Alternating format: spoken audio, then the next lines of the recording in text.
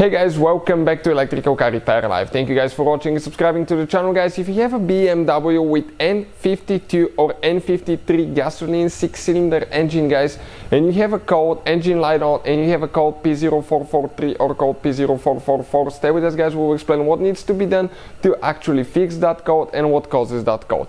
Now we'll demonstrate on a 3 Series BMW but uh, that engine has been used in multiple BMWs such as 3 Series, 5 Series, 6, 7 Series, X3, X5, even Z4 and X1 guys. One of the most popular engines built by BMW between years 2005 and year 2000 and, uh, 2015 I think. Now, uh, quick introduction to the channel guys, every single car we get at the shop we make at least 200 free repair videos specifically on BMWs. We will have more than 500 videos probably guys. Why? Simply because our mission in the shop is to save you guys as much money as we can. Why? We do all that simply guys uh, to save you money. So please subscribe to the channel and like the video so we can keep providing that free information. If you guys need to buy replacement parts or tools for your BMW, check out the link in the description of the video below guys.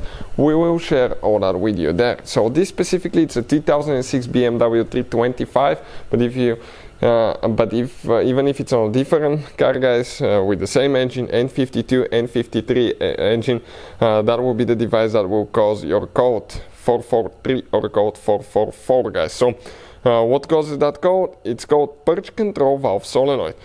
Now this valve is super important part of the emission system of the vehicle guys. Why? Because when you guys have gasoline in your fuel tank what will happen actually?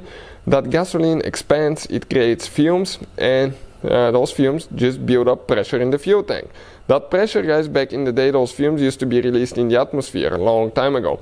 After that, because of pollution, smells, and killing the ozone, guys, people decided, okay, came up with an idea to actually uh, catch the fumes and bring them to the engine and burn through the engine.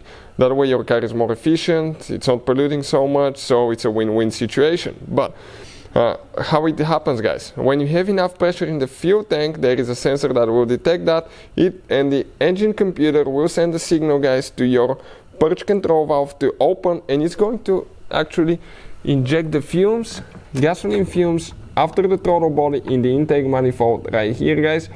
Uh, and it will go in the intake manifold burn through the engine. If you guys want to see how to replace it we'll have the video on our channel and i will try uh, to share the link in the description of the video below please check it out.